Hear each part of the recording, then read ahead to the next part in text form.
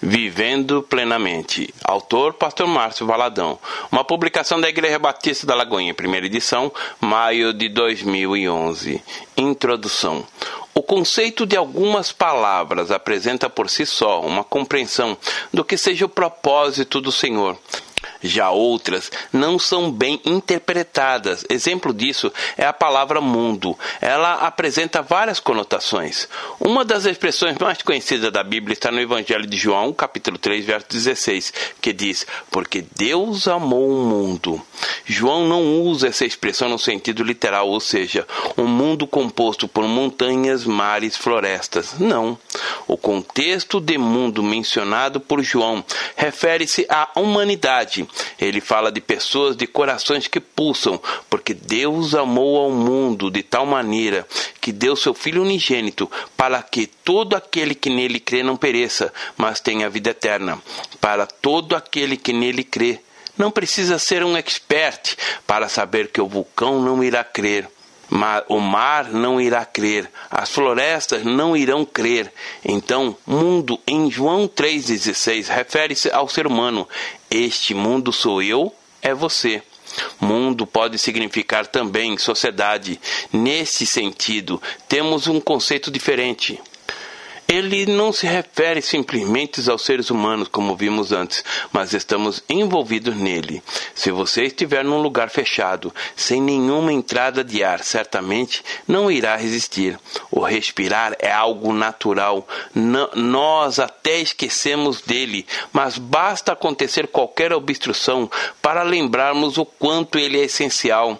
E de maneira semelhante é o nosso viver dentro do sistema mundo, o cosmos, que é mais do que simplesmente as montanhas, os rios, as florestas. Existe um mundo que está além das pessoas que estão ao nosso lado e da nossa inserção dentro deste contexto.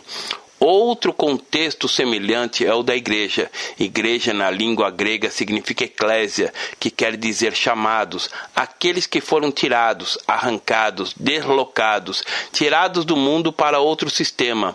Muitas pessoas imaginam que pertencer a uma denominação e ser parte da igreja é a mesma coisa. Não.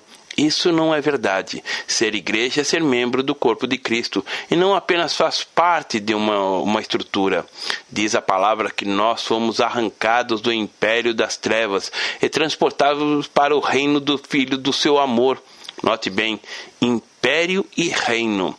O reino passa de pai para filho. O império é diferente, é algo conquistado. Satanás tem um império dele porque usurpou. Ele não recebeu um reino que é passado de pai para filho, e é assim sucessivamente. Pai, que a tua bendita palavra nos edifique, nos console e nos transforme da glória em glória a tua própria imagem. O Senhor disse: E conhecereis a verdade, e a verdade vos libertará. Senhor, nesta hora, mais uma vez queremos deixar o nosso coração sensível para ouvir a verdade. Queremos, ó Pai, não ser apenas ouvintes da tua palavra, mas praticantes dela. Conceda-nos graça, sabedoria, a unção do Senhor, para que nesta hora todo o propósito da tua palavra possa se cumprir. No nome precioso do Senhor. Amém. Ligado à videira. Por estarmos neste mundo, nos relacionamos com a sociedade chamada mundana. Contudo, nela não existe apenas mazelas, imperfeições. Nós, cristãos, não somos mais desse mundo, mas estamos nele. E veja o que Jesus diz no Evangelho de João, capítulo 15, a partir do verso 1. Eu sou a videira verdadeira, e meu pai é o agricultor. Todo ramo que, estando em mim, não der fruto, ele o corta, e todo o que dá fruto limpa, para que produza mais fruto ainda. Vós já estáis limpos pela palavra que vos tenho falado. Permanecei em mim, e eu permanecerei em vós. Como não pode o ramo produzir fruto de si mesmo, se não permanecer na videira, assim nem vós o podeis dar, se não permaneceres em mim. Eu sou a videira, vós os ramos.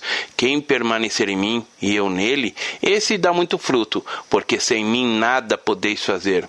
Se alguém não permanecer em mim, será lançado fora, à semelhança do ramo, e secará. Eu apanham, lanço no fogo e o queimam. Se permaneceres em mim e as minhas palavras permanecerem em vós, pedireis o que quiseres e vos será feito. Nisto é glorificado meu Pai, em que deis muito fruto, e assim vós tornareis meus discípulos. Como o Pai me amou, também eu vos amei. Permanecei no meu amor. Se guardares os meus mandamentos, permanecei no meu amor, assim como também eu tenho guardado os mandamentos de meu Pai, e no meu amor permaneço.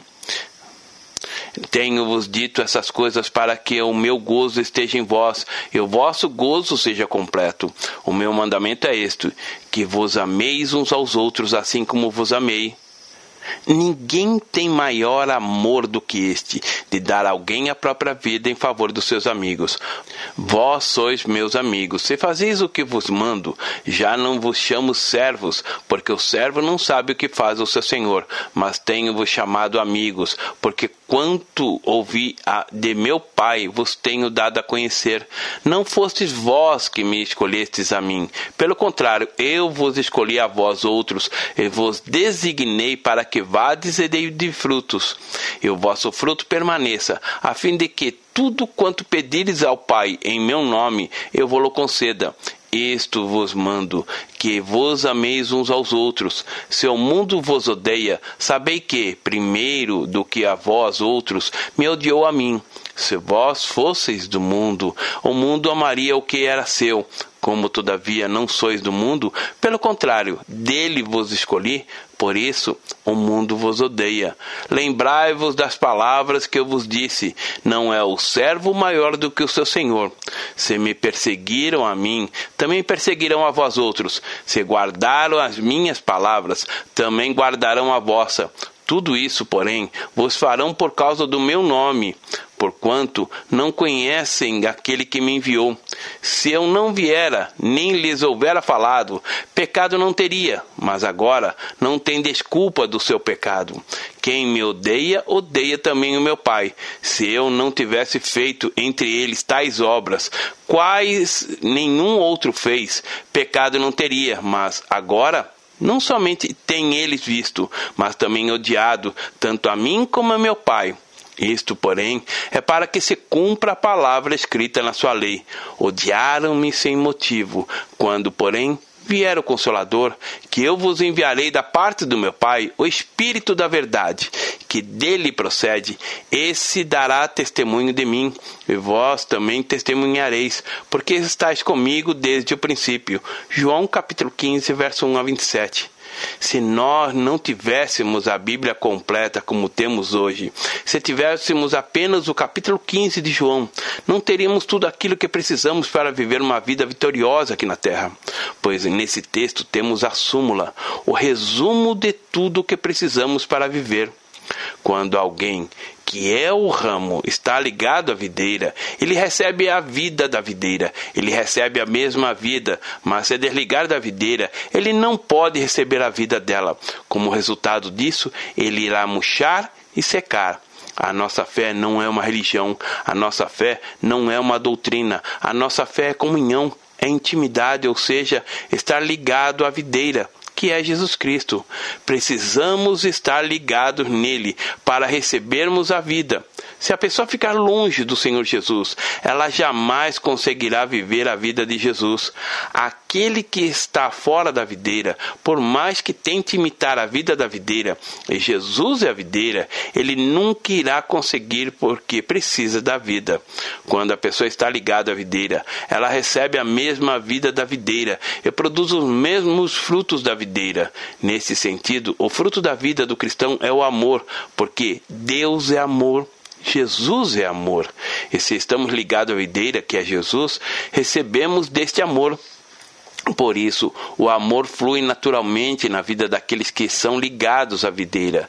Eles não precisam fazer força para dar esse fruto. Já ao contrário acontece com aqueles que estão desligados de Jesus Cristo. Tornaram-se semelhantes a uma árvore de Natal, sem frutos verdadeiros, apenas cheios de badulaques. Tudo é artificial quando Jesus diz: Permanecei em mim, Você pode escolher, pois é livre para permanecer ou para se afastar, mas não pode esquecer de que o Senhor permanecerá em você se você permanecer nele. Permanecei em mim, e eu permanecerei em vós. Como pode o ramo produzir fruto de si mesmo, se não permanecer na videira? Assim nem vós o podeis dar, se não permaneceres em mim. Verso 5. Jesus está dizendo que os frutos da vida daquele que nele permanece acontecem de maneira natural, espontânea. Agora, se a pessoa estiver separada, ela se torna apenas religiosa, e o religioso tenta ter a vida em Deus, mas consegue somente uma imitação. Consegue ser apenas uma árvore artificial, cheia de enfeites, cheia de regras, disso e daquilo, mas não produz o fruto. Entretanto, quando está ligado à videira, o resultado é eu sou a videira, vós os ramos. Quem permanece em mim e eu nele, esse dá muito fruto, porque sem mim nada podeis fazer. Há alguns anos eu tive um infarto. Lembro-me tão bem desse dia, do momento em que cheguei ao hospital deitado na maca. O médico foi até mim e disse: O senhor está tendo um infarto. Eu sabia o que ele estava dizendo, o que estava se passando, sabia as consequências. Por isso, sei que hoje eu estou aqui é porque Deus continua tendo um propósito na minha vida.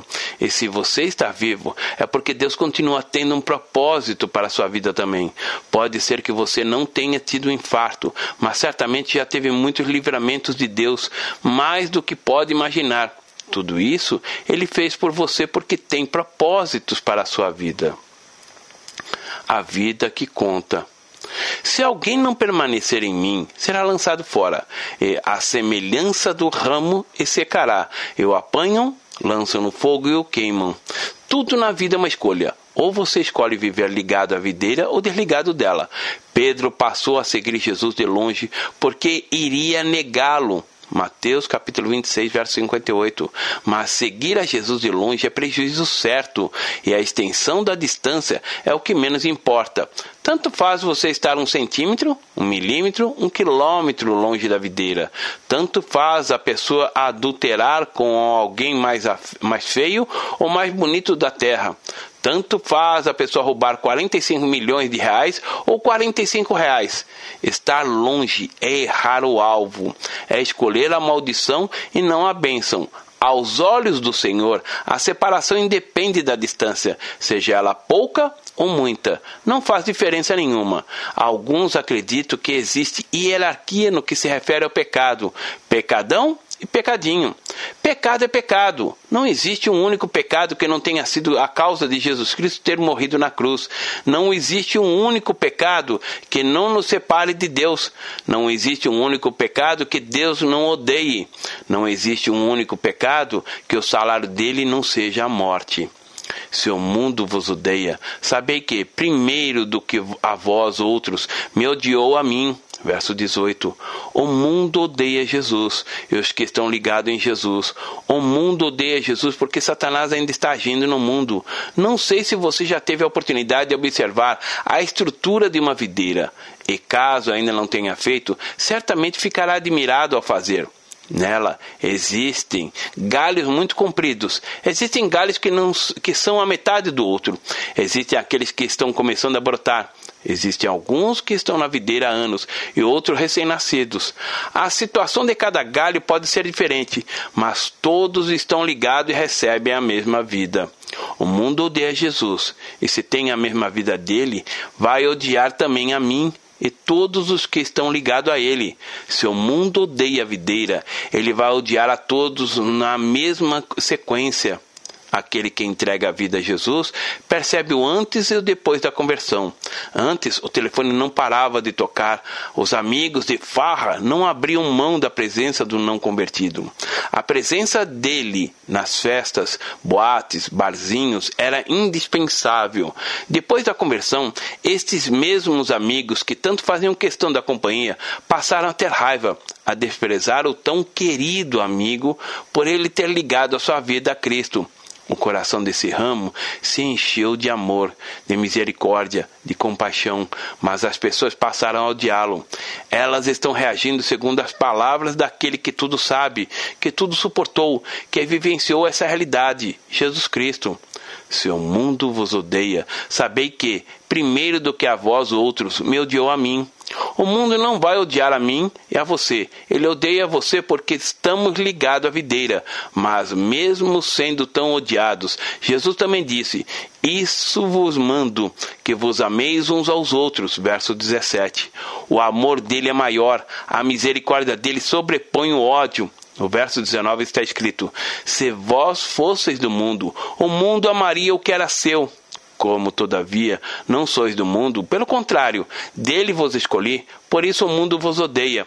Os que estão separados da videira se amam porque estão mortos espiritualmente. Mas a palavra morte não significa aniquilamento, destruição. Em Efésios, capítulo 2, verso 1, lemos: Ele vos deu vida, estando vós mortos nos vossos delitos e pecados. Enquanto não se ligarem à videira, estarão mortos e com uma identidade peculiar.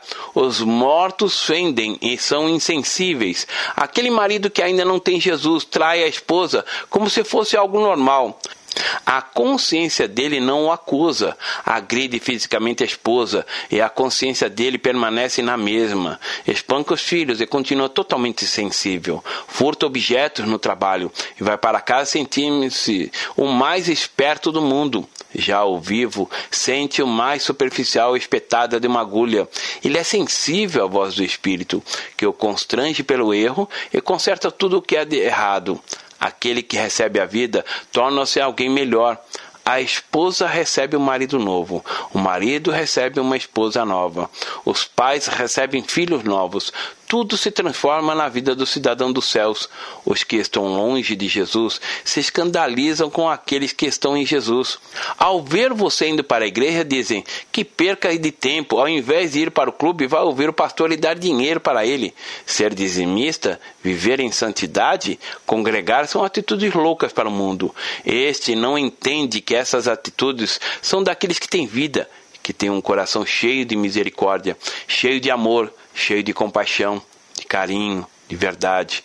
Tudo muda na vida daquele que se liga à videira. A fé cristã não é tudo o que tem sido pregado aí fora. Ela é aquilo que Deus diz. E para ter o conhecimento do que Deus diz, é preciso estudar a palavra, ler a Bíblia. Pois lê-la, percebe-se que a fé cristã é a vida de Deus em nossa vida. E ninguém consegue imitar a vida dele. E a palavra diz no verso 18: Se o mundo vos odeia, sabei que, primeiro do que a vós outros, me odiou a mim. Se vós fosseis do mundo, o mundo amaria o que era seu. Como, todavia, não sois do mundo, pelo contrário, dele vos escolhi, por isso o mundo vos odeia.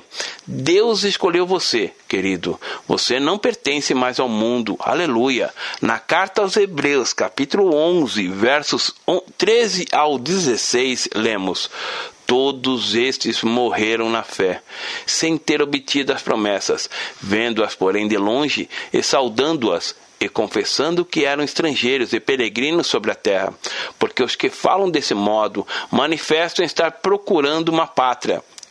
E se, na verdade, se lembrassem daquela de onde saíram, teriam a oportunidade de voltar, mas agora aspiram uma nova pátria superior, isto é, celestial. Por isso, Deus não se envergonha deles de ser chamado seu Deus, porquanto lhes preparou uma cidade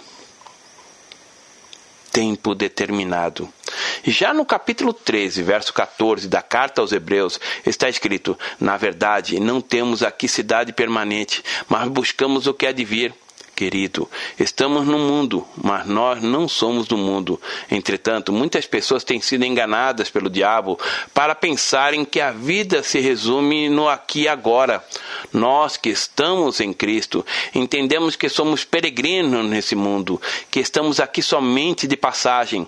O peregrino não tem morada permanente, ele está numa caminhada, ele tem este pensamento: aqui não é meu lar Aqui não é minha morada permanente. Ele, ao contrário daquele que está desligado de Jesus, sabe que não vai ficar aqui para sempre. Muitas pessoas lutam, batalha para acumularem bens materiais. Deus pode dar a você uma frota de caminhões, centenas de apartamentos, mas tudo vai ficar aqui. Nada disso levaremos para o lar celestial. O peregrino apenas faz uso das coisas, mas não permite que as coisas o usem.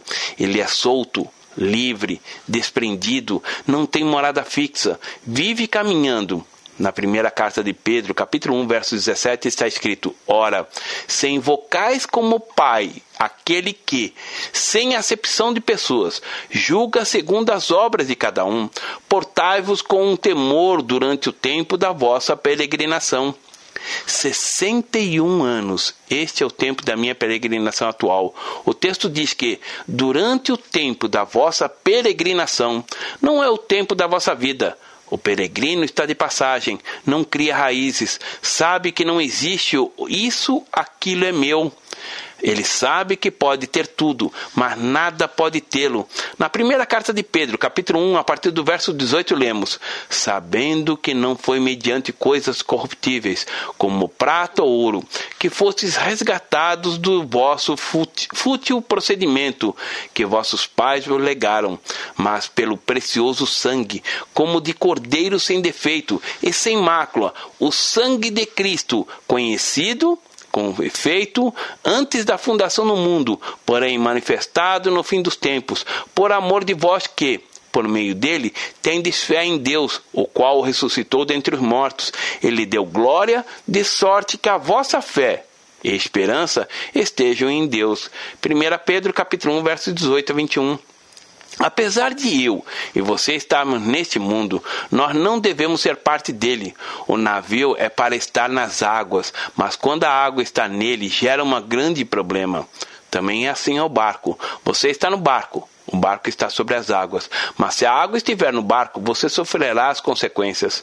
No Evangelho de João, capítulo 17, a partir do verso 14, lemos: Eu lhes tenho dado a tua palavra, e o mundo os odiou, porque eles não são do mundo, como também eu não sou. João capítulo 17, versos 14 a 16.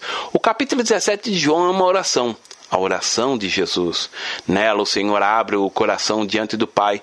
Jesus intercede. Jesus Cristo clama: Não peço que os tire do mundo, e sim que os guarde do mal. Você é como um navio, você está no mar, e Jesus quer que você vá para a terra, mas ele pede clama para que a água não entre no barco. Por isso, ele intercede dizendo: Não peço que tires o mundo, e sim que os guarde do mal.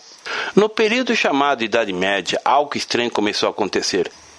As pessoas queriam sair do mundo e, para isso, começaram a construir mosteiros e conventos. Esses passavam a alojar as pessoas, as famílias, e ali elas ficavam em silêncio, na tentativa de isolar do mundo. Talvez pensassem que agir de tal maneira estariam fora do mundo, que ele não exerceria qualquer influência na vida delas. Mas foi isso que Jesus pediu para que fizéssemos? Não. Ele não quer que o, mundo, o seu povo esteja em conventos. Ele também não quer que o seu povo esteja em mosteiros, pois não adianta sair fisicamente do mundo desse sistema.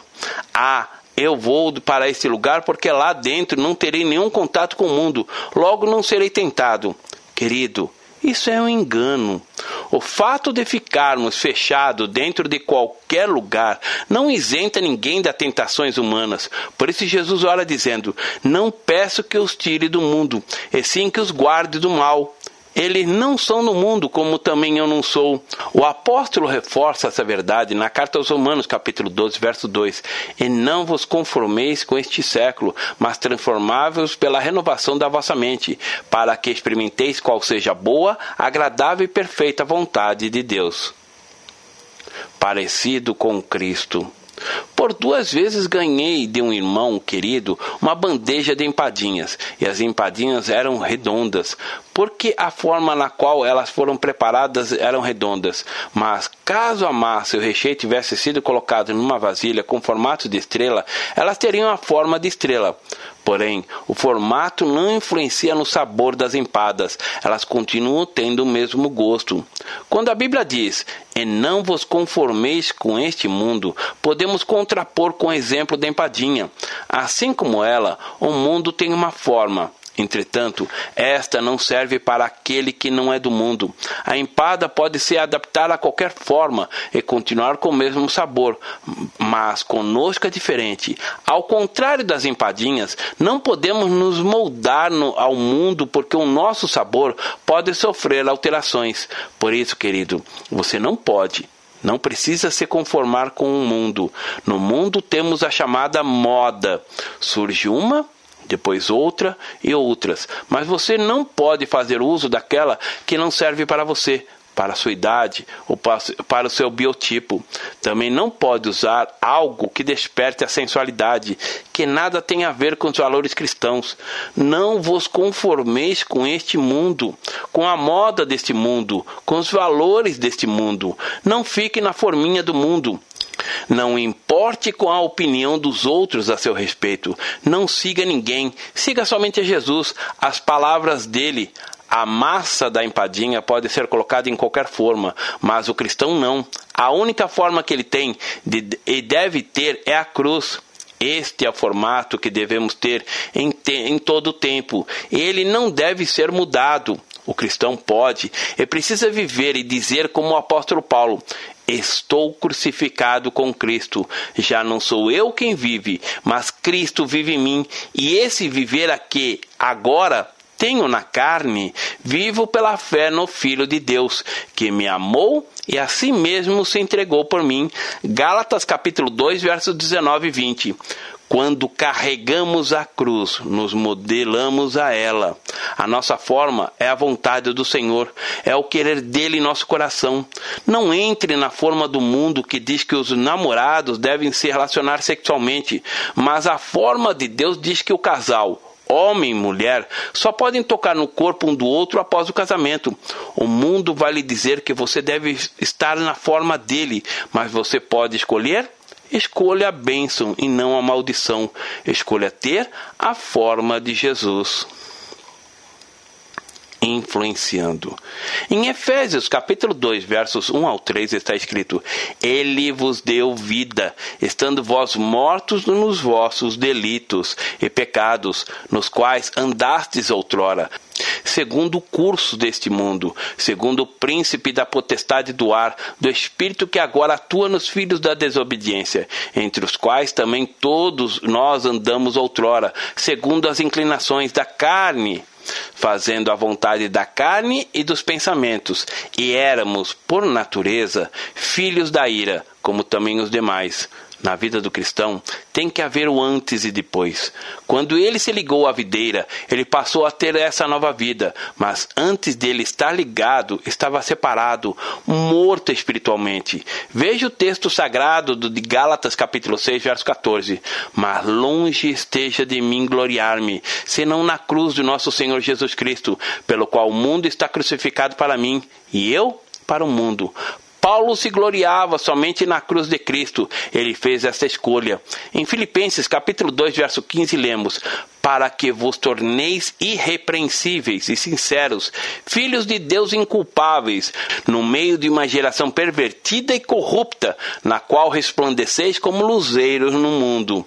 A prostituição, o adultério, o crime, as drogas, a fornicação, a mentira, a corrupção, tudo isso é perversão.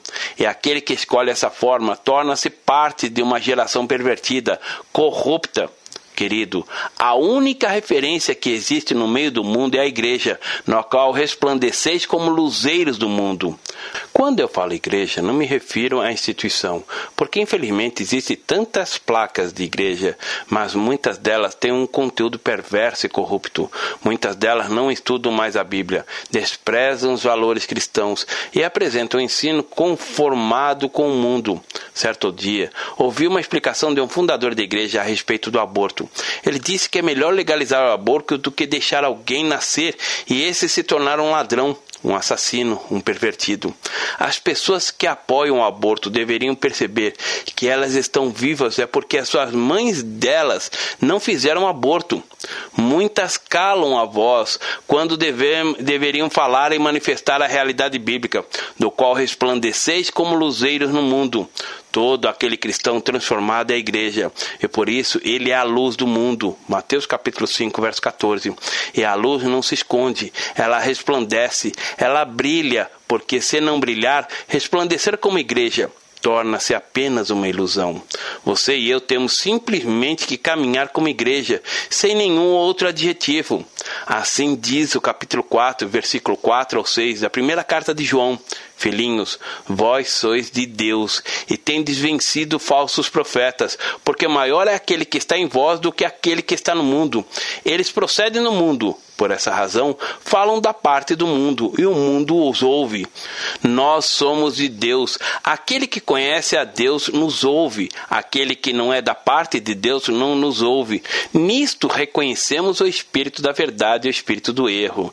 Eu fui comprado pelo sangue de Jesus. Eu tenho um dono, eu sou de Deus. Os falsos profetas dizem que o diabo é maior, que os demônios são maiores. Isso é mentira.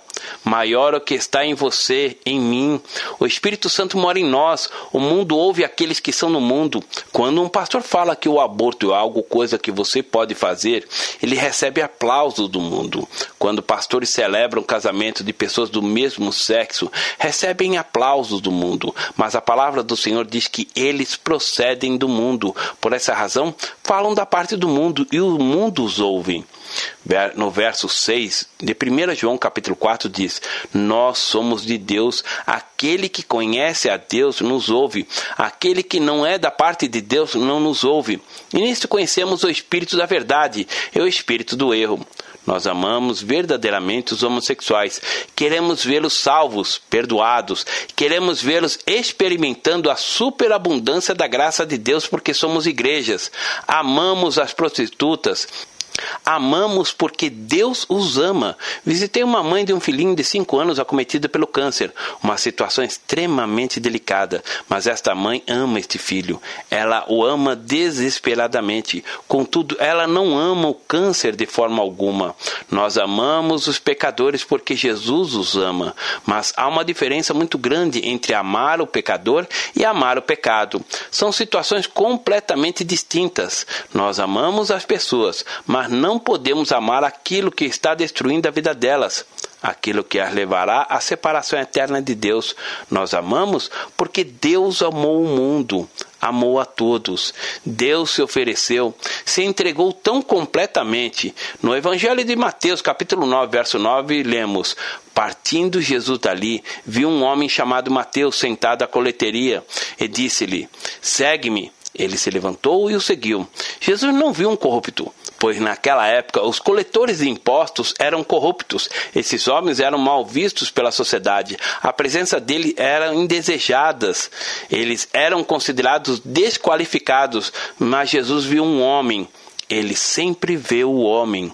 O verso 10 diz que e sucedeu que, estando ele em casa, à mesa, muitos publicanos e pecadores vieram e tomaram lugar com Jesus e seus discípulos. Ora, vendo isso, os fariseus perguntaram aos discípulos: Por que come o vosso mestre com publicanos e pecadores? Os religiosos se escandalizaram com a atitude de Jesus de comer com aquelas pessoas, mas Jesus ama a todos incondicionalmente. Também na primeira carta de João, capítulo 5, verso 19, temos o seguinte texto: Sabemos que somos de Deus e que o mundo inteiro jaz no maligno. Aos olhos de Deus só existem dois tipos de pessoas: os salvos e os não salvos. Os olhos dele não existe culto, inculto, gordo ou magro, feio ou bonito. Não existe nada disso. Existem aquelas que estão no mundo e aqueles que estão fora, tirados do mundo, aqueles que já foram salvos e aqueles que serão salvos. É por isso, querido, que a nossa atitude em relação aos valores do mundo deve ser diferentes também. O mundo tem determinados valores que para nós não existem. Nós usamos as coisas do mundo, mas nós não somos do mundo. Você pode usar o carro, o iPad, o MP10, pode usar de maneira sábia os, os, recursos do mundo. Não é preciso viver como algumas igrejas nos Estados Unidos que adotam doutrinas e costumes esdrúxulos. As pessoas não podem usar carros, usam apenas carroças. As mulheres fazem o pão dentro de casa. Parece que vivem no século XVIII. Tiago, capítulo 4, verso 4 diz assim: Infiéis, não compreendeis que a amizade do mundo é inimiga de Deus? Aquele, pois, que quiser ser amigo do mundo, constitui-se inimigo de Deus. Em 1 João, capítulo 2, verso 15 está escrito: Não ameis o mundo, nem as coisas que há no mundo. Se alguém amar o mundo, o amor do Pai não está nele, porque tudo que há no mundo, a concupiscência da carne, a concupiscência dos olhos e a soberba da vida não procede do Pai, mas procede do mundo. Ora, o mundo passa, bem como a sua concupiscência. Aquele, porém, que faz a vontade de Deus permanece eternamente. Temos que resistir, não nos deixar ser influenciados pelo mundo. Temos que ser influenciados apenas por Jesus e pela sua bendita palavra. Isso se quisermos ser felizes, tal como descreve o Salmo 1, a partir do verso 1, que diz: Bem-aventurado o homem que não anda segundo o conselho dos ímpios, não se detém no caminho dos pecadores, nem se assenta na roda dos escarnecedores. Antes, o seu prazer está na lei do Senhor, e na sua lei medita de dia e de noite. Ele é como árvore plantada junto à corrente de águas que, no devido tempo, dá o seu fruto, e cujas folhagens não murcham, e tudo quanto ele fizer será bem sucedido. Ímpio é aquele que faz parte do mundo, que não tem Jesus na vida. Os ímpios não são assim. São, porém, como a palha que o vento dispersa. Por isso, os perversos não prevalecerão no juízo, nem os pecadores na congregação dos justos, pois o Senhor conhece o caminho dos justos, mas o caminho dos ímpios perecerá. Versos 4 a 6. Nós estamos no mundo e usamos as coisas que nele estão. Ninguém precisa viver um como um pré-histórico. É preciso sabedoria para usar tudo aquilo que existe para nos abençoar de alguma maneira, conforme nos orienta o apóstolo Paulo. E os que se utilizam no mundo como dele não usassem, porque a aparência deste mundo passa. Portai-vos com sabedoria para com os que são de fora. Aproveitai as oportunidades. 1 Coríntios capítulo 7, verso 31 e Colossenses capítulo 4, verso 5. Palavra final. Querido, querida, aproveite as oportunidades para testemunhar do Senhor. Fale de Jesus às pessoas. Jesus não quer que a igreja dele esteja dentro dos muros. É a vontade dele que sejamos o sal. O lugar de sal não é no saleiro, não é dentro do templo. Temos que dar sabor, que é o amor de Jesus, a vida dos que estão perdidos, mortos espiritualmente. Os fariseus criticam a atitude de Jesus de estar com aquele gente classificava da como indigno por eles. Mas Jesus, ouvindo isso, os sãos não precisam de médico, e sim os doentes. Mateus capítulo 9, verso 12.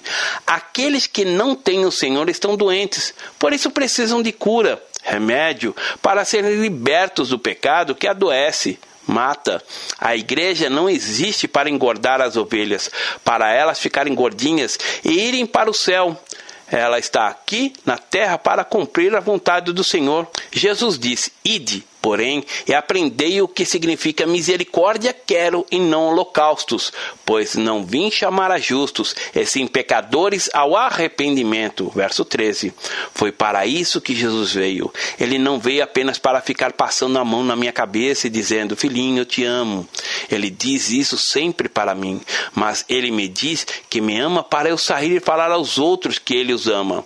Na primeira carta aos Coríntios, capítulo 9, verso 19, está escrito: Porque porque, sendo livre de todos, fiz-me escravo de todos, a fim de ganhar o maior número possível.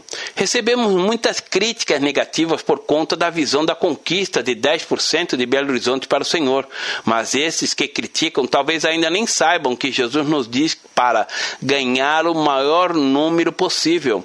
Nós não estamos buscando números, estamos buscando vidas. Enquanto Deus permitir que esse coração que já bate há 61 anos continue a pulsar, eu vou ganhar o maior número de vidas para Ele, pois essa é minha paixão.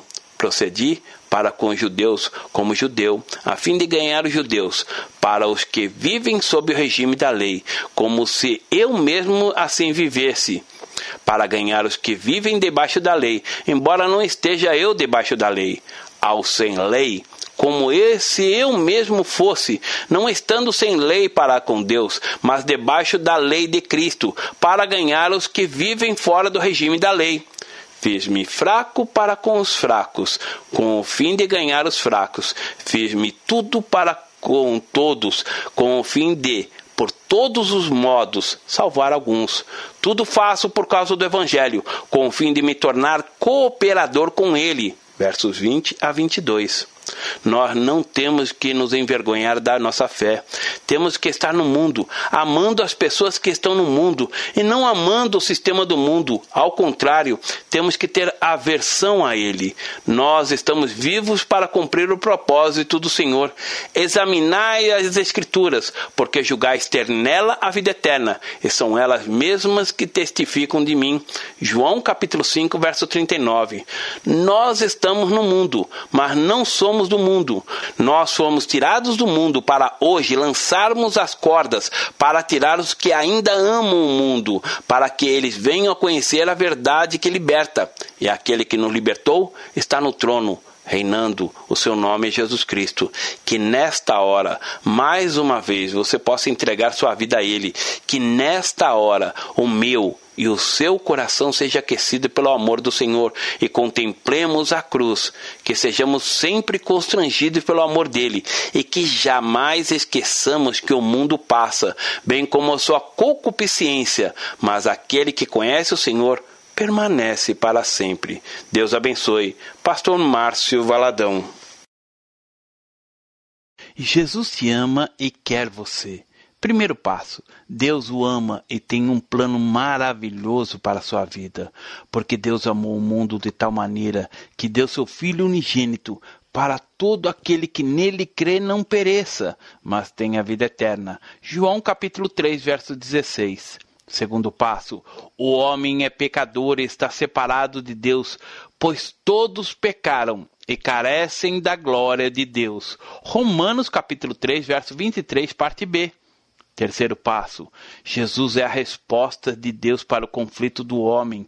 Respondeu-lhe Jesus: Eu sou o caminho, e a verdade e a vida. Ninguém vem ao Pai senão por mim. João capítulo 14, verso 6.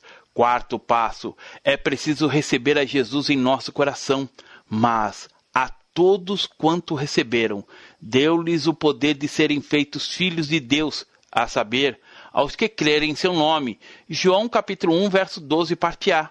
Se com tua boca confessares Jesus como Senhor e em teu coração credes que Deus o ressuscitou dentre os mortos, será salvo. Porque com o coração se crê para a justiça e com a boca se confessa a respeito da salvação. Romanos capítulo 10, verso 9 e 10. Quinto passo. Você gostaria de receber a Cristo em seu coração? Faça essa oração de decisão em voz alta. Senhor Jesus, eu preciso de ti. Confesso-te o meu pecado de estar longe dos teus caminhos. Abra a porta do meu coração e te recebo como meu único Salvador e Senhor. Te agradeço porque me aceita assim como eu sou e perdoa o meu pecado. Eu desejo estar sempre dentro dos teus planos para a minha vida. Amém. Sexto passo: procure uma igreja evangélica próxima à sua casa. Nós estamos reunidos na Igreja Batista da Lagoinha, Rua Manuel Macedo, 360, bairro São Cristóvão, Belo Horizonte, Minas Gerais. Nossa igreja está pronta para lhe acompanhar nesse momento tão importante da sua vida. Nossos principais cultos são realizados aos domingos. Ficaremos felizes com sua visita. Uma publicação da Igreja Batista da Lagoinha, Gerência de Comunicação, www.lagoinha.com.